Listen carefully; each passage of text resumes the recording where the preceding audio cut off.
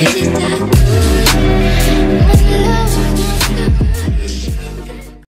girl, welcome back to my channel. And as you can see by the title of today's video, I will be giving you guys a two hormone update. Yes bitches it's been two weeks but before we get into this update i want you guys to like comment and subscribe and turn on the bell so you guys can be notified every time i upload a video and follow me on all of my social media which will be at the top or the bottom of the screen. But with that being said let's get into the video girl. But yes you guys it has been two weeks officially on my hormones and i am so happy and i cannot wait to share these changes with you guys. So let's just get into it. We're gonna start off with the first couple of days immediately after taking my first pill i felt so excited calm at peace and i was like everything is finally falling into place. It was the best feeling ever. I honestly haven't felt like that in 21 years other than when I um, went to Vegas and you know was being my actual self. But other than that that's what I experienced when I first took my pill you guys and onto the spironolactone on the first day. When I first took mine that night, I started to experience hot flashes and things like that. So that's what to expect on your first day. Now we're going to go ahead and get to the third day. On the third day, my nipples started to itch and tingle. I don't know where that was coming from, but my nipples have never itched before and it just did like a little itch it wasn't like I was scratching like you know hard or nothing but it was just like a little itch and then it just went away. I didn't experience it. But within these two weeks I have experienced like my nipples itching so I guess that means they're growing or whatever. And also with that being said I did experience a little bit of pain in my nipples on the third day as well that was basically what happened with me within the first couple of days of me taking my hormones. Now, girl, we're going to go ahead and jump into week one. And I do have some notes here on all of my changes that I have experienced. So we're going to go ahead and jump into it now. I'm going to tell you now. Week one was rough. So expect your first week on hormones to be rough. Okay, girl? Like, it was rough boobs. Okay, girl. So in the first week, I experienced mood swings and I got irritated easily. I would basically from happy to sad and depressed to angry and stuff like that. It was just all over the place. And let me get irritated easily. Like when certain people tell me stuff or do certain stuff, it'll piss me off. Like for example, when I was on the phone with my good friend from school, um, we were on the phone I'm um, talking about like LA and stuff and you know me doing um, YouTube and I basically had gotten an attitude about it because um, I don't normally get an attitude about that stuff, but I was just I just had an attitude and I really didn't want to talk about it because I was irritated at the time and I just wanted to talk about something else. So, girl, Shavonda, if you're watching this, it was the hormones. That's why I was being bitchy towards you and I apologize for that. But yes, that is basically what I experienced. And then the second thing is I experienced was more pain in my chest. Um, I did mention within the first couple days I did feel pain in my chest, but on this first week it got like a little bit worse. So it wasn't to the point like where I wanted to scream or cry or it wasn't on a scale from 1 to 10 I would say my pain was about like a one and a half. It didn't hurt that bad. It would come and go. So basically yes I did have a little bit more pain in my chest. So the third thing that I went through was unwanted thoughts and depression. And I'm going to dive into this deeper. I was talking with a friend of mine and the testosterone is basically in a fight with the estrogen that's coming into your body. So lots of times you probably will get negative thoughts about your transition. Um mine specifically was that i'm not transgender. Um this is not the right path for me. And all this negative stuff towards my transition that i didn't wasn't thinking on my own. This was the testosterone you know i guess trying to tell me to get this out of my body and it was just a, basically a fight between the testosterone getting deleted out of my body versus the estrogen coming in. The estrogen was like, bitch, we're, we're this bitch, we're that bitch, we're coming in. This is right for Mercedes. And then the testosterone was like, wait, what the fuck is going on? So basically when that happens, you're going to have unwanted thoughts. Now, I'm not saying that you're going to have thoughts about you not being transgender and stuff like that, but that's just what happened to me. And I, I went through that within like it lasted for like a couple days. It didn't went away. Like today I'm on week two. It's completely gone.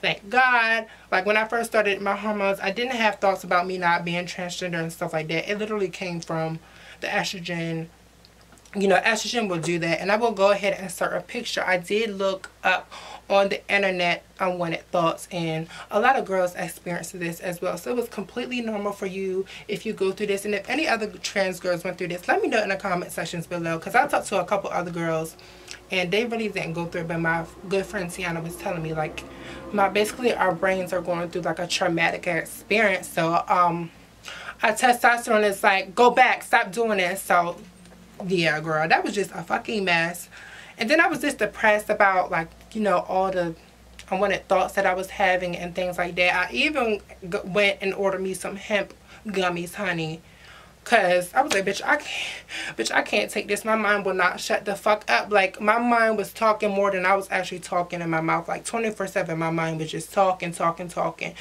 and wouldn't shut the fuck up. It was so annoying. But this is week two, and that completely went away. And yes, I have really bad anxiety as well. Like, I still have it now. Like, for example, my camera, my SD card wasn't working on my camera, so I started to get nervous about that. Usually I just get an attitude, but I won't get nervous. But usually I get nervous about a whole bunch of stuff that I wasn't used to get nervous about. So that's something that I am experiencing is more anxiety.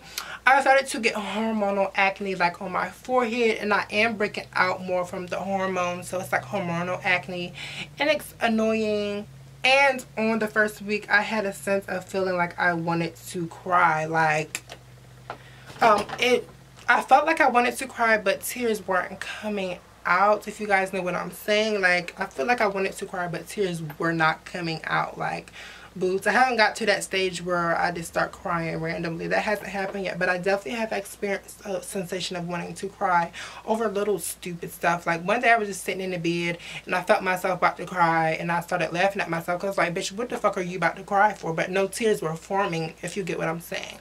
And also another thing that is happening is me getting sad 24-7. I get sad about like stuff that's going on in my life or, you know, not having a boy not having a boyfriend but I really don't get sad over that anymore.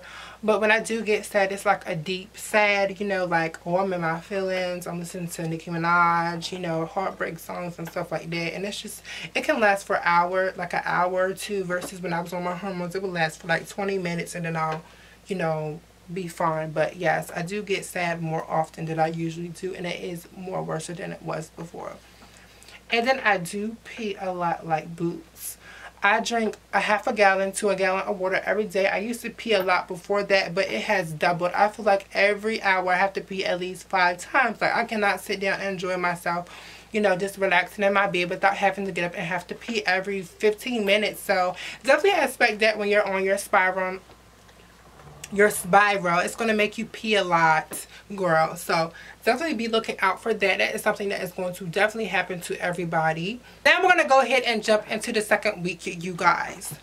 Um I only have three things for the second week which is this week. And my face feels softer like my and my face just feels like really softer and femininer like I don't know like before it felt rough and like it just didn't feel good. It wasn't giving, oh, that's a woman. It was giving, bitch, that's a man. That ain't no pussy, bitch. But yes, it was giving very much, very soft and feminine. Soft and feminine, soft and feminine, soft and feminine. Okay, girl, it was giving that. And I've been like tired slash lazy. Like I do not want to do nothing. Like my routines have like crashed because I do not be wanting to be doing anything like and the second thing that I experienced is me being tired and lazy. Like I feel like I'm tired a lot and lazy a lot. Like it I have to push myself to go do something because I'm just so tired and lazy now. Like, I just don't feel like doing nothing but sitting in the bed, you know, on the internet looking for new YouTubers to watch or shows to watch and stuff like that. I just do not want to do anything or be bothered by anybody, to be honest. And next, the last thing that I experienced for this week was my cravings, you guys. Um, like, yes, I'm gonna give you an example. Last night, I went into the kitchen my mom had like some chips. Girl, I just started craving chips, like the type of chips that she had. Like we used to, I used to eat them with her when I was little. When I was little, and I started getting cravings for like uh, other things like sweet stuff. I was like, oh my god, like bitch, I need to really chill out. I was about to go on Amazon to order this stuff. I was like, no, I need to chill out because um, I don't want to you know get diabetes or anything like that. So I really have to like watch out for my cravings. Like I was craving a red velvet cake and I actually bought one. It's supposed to be delivered today and I won't be eating it until whenever girl but yes the cravings are starting to come in but i'm trying to eat healthy and i definitely want to stay healthy and slim because i do want to be a model girl and i cannot be out here just eating down boobs. Like i have to be eating healthy and make sure my body's snatched. So that is definitely something you want to look out for if you want to model or something like that. Just make sure you keep your cravings healthy. Crave healthy stuff. That's what i'm hoping that's going to happen with my cravings is healthy stuff and I'm gonna show you guys my my boobs. I don't have any breast I don't have any breast tissue. I don't have any hold on. I don't have any well I, I can do this now. I don't know if I was able to do that before but I really don't have any breast tissue going on. This is my um, boobs right here but yes i've always had like a little bit of tissue but i feel like it's a little bit more. So i guess fat is starting to get in my breast now but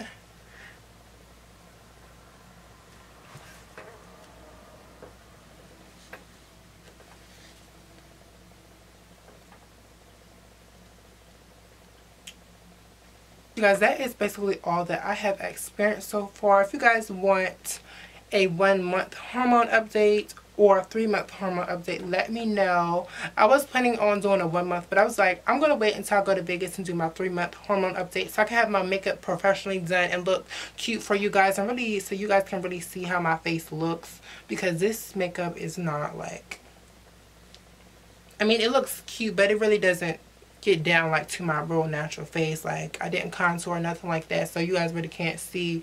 And if you guys think my face looks different let me know. I do feel more feminine when I look into the mirror sometimes but my dysphoria is still there so I can't wait until my boobs grow because that's definitely going to start to eliminate some of my dysphoria because I still have it and it's very strong when I sometimes look in the mirror sometimes I feel like a woman sometimes I feel like I look like a fucking man. Like, it just, it, it's irritating. But once my boobs start to grow and um, my hair starts to grow back, because I am in the middle of growing my hair back, so you already know what that's the process is like. So i hope you guys enjoyed this two week hormone update. And let me guys know which hormone update you want next a one month or three month or if you want both of them i will deliver to you guys. And thank you guys for watching. Bye girls